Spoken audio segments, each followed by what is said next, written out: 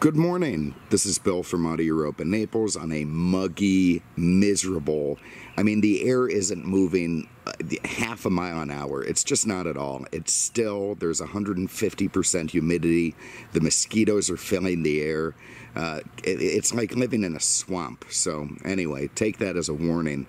Uh, you know, I know the Canadians and the Germans like to come down here in the summer. I really don't know what they're thinking. They must be out of their minds. Anyway, this is a 2012 Volkswagen EOS Komfort retractable folding hardtop convertible. Uh, this is the second generation of the car. It's a very good looking car, or it's not, depending on how you think about it. Uh, the front end of it is essentially Jetta, very, very similar, but of course that's corporate VW. The sides, not particularly styled up. There's a little beauty line above the door handle. Uh, nice, big, attractive uh, alloy wheels on the car. Very chunky looking mirrors. You know, beauty is in the eye of the beholder. So uh, some of you may look at this and kind of cough up in the back of your mouth. Other people look at it and say it's gorgeous. So, you know, there it is. Depends on your perspective. Uh, this one is finished in a very nice uh, medium blue metallic. It's got a cream beige interior that uh, is a very nice color combo. Those are good looking wheels. Anyway, let's have a look in the trunk. I do like the little deck lid spoiler this thing has. I presume it's uh, optional. Also getting a little bit of mist on this horrible Florida morning. Uh, that's cool. The way the uh, trunk release works, you push the top of the emblem. That's kind of neat stuff. Now, with the hard top down, you really don't get a ton of access to your cargo, although you do have better cargo than it appears. Uh, if you look in here, we've got the uh, floor mats, we've got the accessory windscreen, which is still with the car. Nice stuff. Over there is your uh, jacking tool, which frankly, I think VW could have done a better job figuring out how to stow. Uh, putting it in a styrofoam box kind of velcroed to the top of the trunk just seems to needlessly do away with some luggage space. So I hope that engineer got fired. Uh, anyway, top down, uh, you can reach in here, you can get to your stuff. Uh, this big partition moves, and when you release it, well, we'll get into that when the trunk's uh, when the top's up. But anyway, when you release it, the top won't work. Then you can fit a ton of stuff back here. But uh, if you want to put the top down, it's only whatever you can fit under this guy. Eos, the goddess of the dawn, I believe. I don't know if that makes this officially a girl car or not, but yeah, probably. Uh, anyway, I like the uh, twice pipes there coming out the left-hand side. I like the stout bumpers. I think they look nice. And uh, we'll have a look. Uh, we'll do under the hood real quick.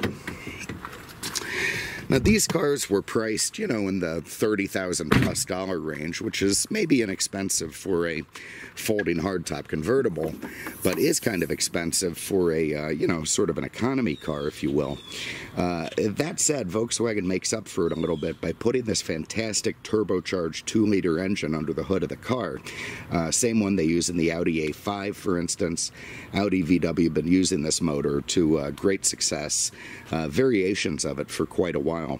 Uh, puts out, again, about 200 horsepower, very advanced, direct injection, uh, you know, a nice peppy motor under the hood. Precisely what you'll find in the GTI, by the way, so you do get some oomph out of the car.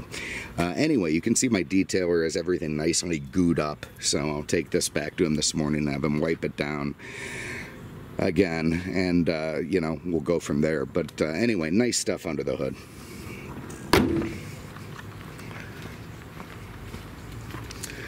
Okay, inside, uh, I think this is a very nicely appointed car and uh, very nicely designed. You see the door panels contrasting cream beige with uh, charcoal. Uh, here's your power window switches, your power lock. Uh, this is clever. This runs all four windows at once. You got your power mirror, your fuel and trunk release in a very nice logical place. Uh, you know, some companies do put those in really stupid places. Back here in the rear seats, you have a uh, pass through to the trunk. That's what that little door pull is there. If you pull that down, I'll try to do that one-handed. Uh, there you can see goes right through to the trunk. So if you have big sniper rifles or, you know, baseball bats with spikes on them that just are, you know, too long, you can run them through that way. Maybe even a fishing rod if, you know, you're hungry. Uh, you also have some cup holders there, uh, pretty good leg room. So if you have some Canadians to stuff back there, they're going to be okay. You get them to the restaurant, no problem. Might even get them to the next town over. So uh, pretty good stuff. I think there's also baby seat anchors if you're one of those people inclined to have children. Uh, the front seat's very nice, very supportive. It's got driver power, lovely. Uh, it also has airbags, as you can see. Uh, it's got the I won't be captive in the rear seats button. And uh, that is this thing here that your rear seat passengers can reach. Uh, they're sitting back there. You're thoughtless. You're crushing them at the knees. They'll be able to put their hand over there and move this guy forward and stuff you into the steering wheel. So you could have a real nice little war with that. All right, let's hop in. Fire this thing up. Okay, you see it fires right to life. Very, very nice stuff and uh, everything lovely. Now, I do like the way the door panels go into the dashboard. Nice swooping thing. Reminds me of an 80s Buick Riviera a little bit. Uh, but uh, anyway, nice design there. Uh, you can see, uh, well, what can you see? That goes all the way around to the other side. Lovely stuff. Uh, when the top is down, you see this pushed open. You push this guy and nothing happens. Ah, there it is. Uh, up comes this little top windscreen, which is kind of a manual version of the one you find on the SL uh, 550 or the E350 Cabriolet. Actually, I don't know if the SL has it. Uh, anyway, what that does is really cuts down buffeting inside and wind noise. It means you can have a conversation at high speeds. And, uh, you know, if your wife's nagging on you, you're going to be able to hear every word she says, even at 80 miles an hour with the top down. So you may not want to deploy that. Uh, here you've got a, a, uh, very nice instrument cluster. You've got your uh, tach over there, you know, 6,000-ish shred line, your uh, water temp beneath, your driver information center in the middle. Uh, you've got your 160 mile an hour speedo to the right with your fuel gauge, and this thing does get pretty good fuel mileage. Uh, over here you have a Mercedes-style headlight switch, on for once, once for on, pull for fogs. Works pretty good. okay, uh, we got a multifunction steering wheel, gives you voice command with Bluetooth, uh, volume control. You can answer the phone. You can go through this little screen and change all the different stuff you want to change. So all very proper. Uh, here you've got an in-dash AM FM CD media setup. Uh, also gives your satellite radio, uh, your Bluetooth connection. Uh, you can scroll through everything there and get it set up how you want it. Let's see what we got this morning. We have commercials. Let's see, we got another station.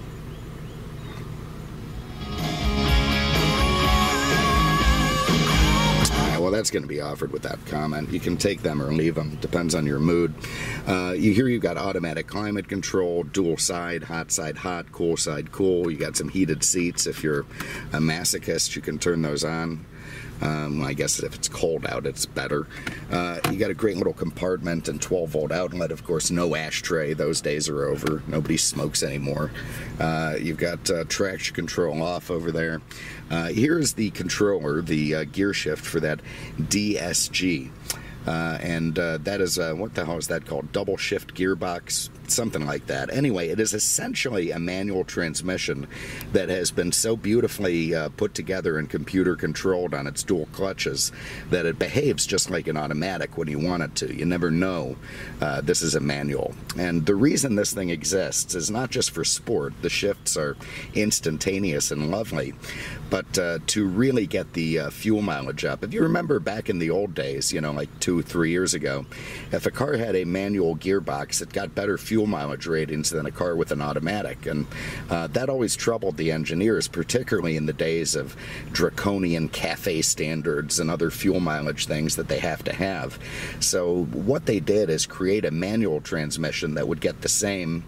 Uh, you know, fuel. Well, there it is. Create an automatic transmission that would create the uh, same fuel economy numbers as the manual, while behaving, you know, very much like an automatic, and they did it. Uh, there it is, works great, pretty cool stuff. Uh, over here, you got a glove box, you got some books up there, nice, and uh, everything proper. So, tell you what, let's run the top. To do that, you lift up on this giant U-shaped uh, uh, switch there. You can see the trunk goes up from the rear. I'm going to stop halfway to show you how that looks. Got kind of an origami thing going on as it unfolds.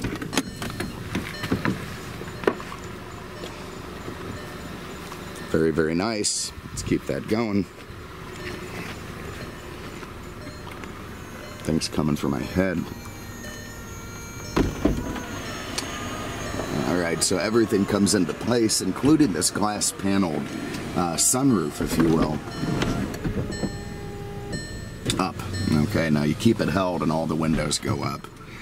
And if you want, you can slide this big shade forward and now you're completely sealed off from the sun. But just for a minute, we'll have a look at this. So you've got this big glass panel that if you run an inner switch, does go back. So now you've got a convertible top with a sunroof. God, this thing beeping is annoying me to death. Anyway, so uh, VW did market this as the only convertible with the sunroof, and you know, for all I know, they're still right. So let's have a look in the back.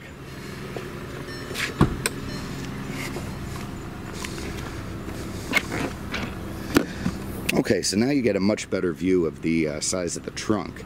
Uh, you see these two little grabby hooks here.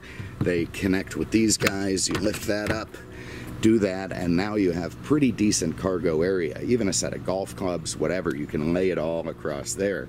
Uh, that said the top will not go down. If you were somehow able to get it to start it would crush everything and break into pieces so don't even try. Uh, but uh, truly with it disconnected there the uh, computer locks it out and the top will not work so uh, pretty decent uh, trunk space when you really need it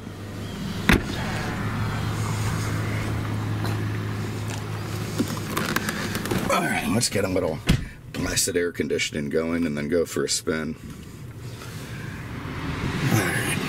Hope that's not too noisy. I actually don't care if it's too noisy. I really don't. It's that muggy and miserable out here. Eventually, I'll get my seatbelt on and we can take off. All right. Is this on? This does not feel AC. Good lord. Alright, a little wave at the neighbors and away we go. there's that turbo kicking on. Uh, it really is a turbo that you can feel, very GTI-ish, you know. Um, when you hammer it, it spools up pretty quick, but when you're just leaving a light kind of slow, uh, there is this little turbo lag that kicks in that I find kind of cool. All of a sudden, uh, you know, you're moving forward a little quicker than you were a second ago, and ah, there's the turbo. So, kind of an interesting uh, drivetrain feel. Uh, it has struts up front, it has multi-link in the back, very good suspension nice and nimble, handles the corners well. Uh, steering, nice light feel to it. You can see plenty of pep there with these instantaneous, you see the way the tach needle moves. I mean, it is a very fast shift in this car. Ah, and that air is now lovely. So uh, there it is. This is a 2012 Volkswagen EOS Komfort Goddess of the Dawn folding retractable hardtop convertible. Uh, it's got the GTI drivetrain. It's got very nice appointments and all trim levels. Uh, and, uh, you know, even if it was an inexpensive folding hardtop convertible, uh, it was a pretty pricey little Volkswagen that shows. So uh, if you have an interest in this car, give us a call 239 649 7300 on the web at mercedesexpert.com. Thank you so much for having a look. We appreciate it. We'll see you with the next one.